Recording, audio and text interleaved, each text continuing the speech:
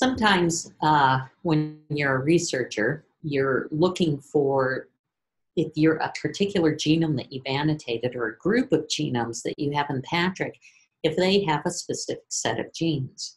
Earlier, we went in and we were showing how you could use the ID mapping tool going from this paper to this data that was available. This is a direct uh, supplementary file from that paper. And we took these gene identifiers and tried to find out what they were called in PATRIC. So I did that and I went into, I created using the ID mapping tool, which you can go here, services and ID mapping. I found out what those genes were called in PATRIC and what their identifiers were. And if you go into the feature groups, we'll look at what that looked like. So it was this group that I created. And I went into the feature view. And it'll take a few minutes to load here. But while it's loading, let me describe what happens. All of it, when you do annotate genomes in PATRIC, and any genome that comes into PATRIC, one of the things that is included in that genome are these two protein families the local protein family and the global protein family. All the genes that belong, the local protein family is the genus specific protein family. The global protein family crosses the genus barrier. So if I look at the local family, which we call the PL FAMs, I can search within Brucella which is the group we're looking at here, to see how many genes have this. This protein family will be gold for you. If I'm comparing, let's say, Brucella to Bartonella, they're close relatives, the PL fam, the local family, won't help me here to look at to see if there's something similar between the two, but the global family will. So I want to see the question is these particular genes, which are the lipopolysaccharide genes in PATRIC, um, in Brucella, what do uh, from specific group of genomes that I've created for Brucella, I want to see if they have these 78 protein families. So what I want to do is select them all and download this file and I want to download it into Excel first. Okay, so I'm going to create this file. And I'll bring this up so you all can see it. And when you download this data in Excel, I know it's really messy, but here I have the genus-specific families, and here I have the protein-specific families. So the, the question I'm asking is, I've got a group of Brucella genomes that I'm interested in. Do they have these protein families? Do they have these genes across this genome that are involved in building the lipopolysaccharide um, coat that Brucella uses? So, how do I find that out? Well, let's go back to PATRIC. And I'm just going to go from the home page here. Let's click on services and let's click on the protein family sorter. And this is a tool that allows you to look for presence and absence of protein families across up to 400 genomes. Earlier, I created a group of genomes here, and I called it the Brucella test genomes. So I'm going to select that. I did it by the drop-down box and move it over. I could also add in a genome that I was interested in, in uh, if I wanted to, in PATRIC. And so let's, I could just start typing in op And so it's going to try, it's a smart selector, and it's going to try to find the genes that, or the genomes that are close to that. So, know, there are a couple here. I this BO1 strain is interesting, and that makes me remember that there's a strain called BO2 in Brucella. That's a very interesting genome to look at. And there, I don't the little um, lock there tells me it's a private genome, and I was working, we actually published this genome, so that was when I was originally working on it, but I want to see the public genome here and bring that over. So that's a way you can add individual genomes or your private data to this. Now, and let's say you have another group that you created a long time ago and you can't remember what it's called. Well, you can't remember if you I drop if I do the drop down box, this shows me the most recent ones, but I've created a lot of groups in PATRIC. So remember I called this one 40 genomes Brucella.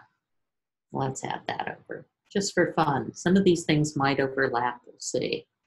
Now you can select the family type. PATRIC has the genus specific families, which are the PL fams, the cross genus families, which are the PG fams and the FIG fams. Uh, let's do the PL fams because these should all be Brucella. And then you hit search. And so we'll just wait for this to load. Sometimes this takes a little bit of time to do, but let me describe what you're going to see here. The first page that's open is the protein family table, and it also has a dynamic filter that will be um, that you can will be able to see here on the left, and then the table here will show all the protein family information. And I will just we'll just wait for for it to load.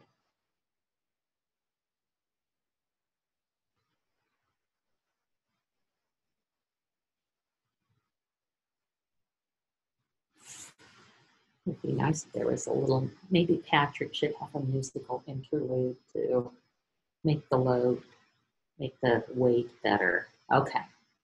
So here are the, it tells me up here that it was 45 genomes. Now remember I did a few groups and stuff, but the, and some of, there was some overlap between the two. And that shows me that across all of those 49 genomes, there are 5,997 protein families. I don't want to see all of those. I want to see the LPS genes.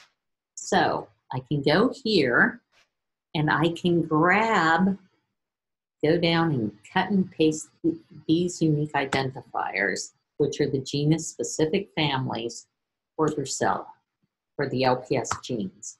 And I put it in the box here and scroll down and then click filter. And there, now I see the 78 results. I can see that some of the genomes have multiple copies of particular genes, and a lot of them have one to one copies of those 78 genes. And as I scroll down, I see some of them only have a couple of them.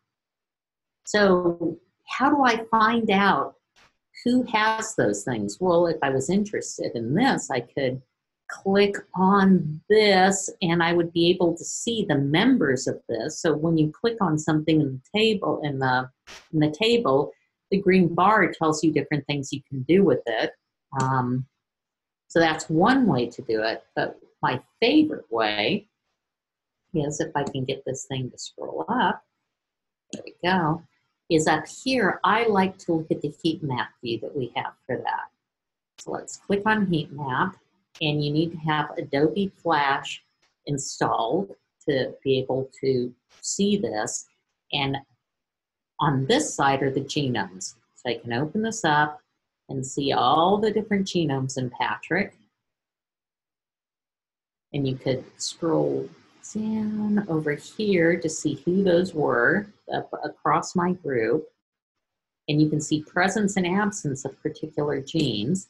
And I could open, use the slider and open the top and see who the protein families are across that. And here are the ones that aren't broadly shared across that. Now, what do these colors mean? We can look at the, the legend here. And if I click on it, I can see that when the color of the cell is black, it means that it's missing the protein family. When it's yellow, it means it has one copy. If it's this orangish color, it means it's got two copies. And if it's this reddish tangerine, it means three or more. So here's one more fun thing we can do with those. is close it all up to make a nice view. And then we could cluster the protein families if we wanted to, to see if they was finding any particular groups within that selection.